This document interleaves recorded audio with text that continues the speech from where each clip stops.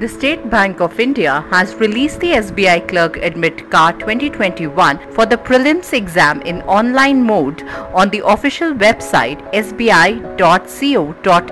Only the registered candidates can download the SBI Clerk Admit Card. They can download the admit card by using the registration number or roll number and date of birth or password. The SBI Clerk Admit Card consists of important details including candidate's name, exam center address, slot date and time, exam day guidelines, etc. It is mandatory to carry the SBI clerk admit card while reporting to the exam center. Without the valid admit card, the candidates will not be allowed to enter the exam hall.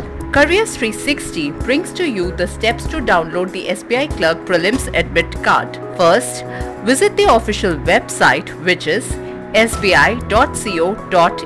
Then Click on the careers available on the top right hand of the home page.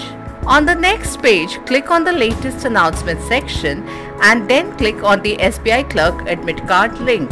A new page will open on the screen. Enter the registration number or roll number and password or date of birth along with the captcha code to download the admit card of SBI Clerk. After logging in with valid details, the admit card will be available on the screen. Candidates must check the details that are mentioned on the SBI Clerk admit card.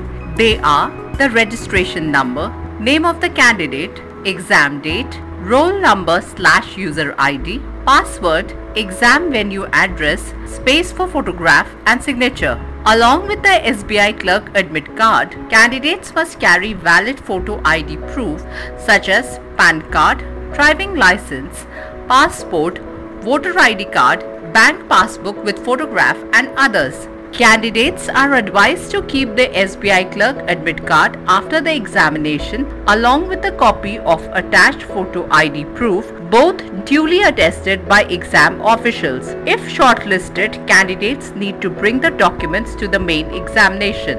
Download the admit card and ensure that you take its printout.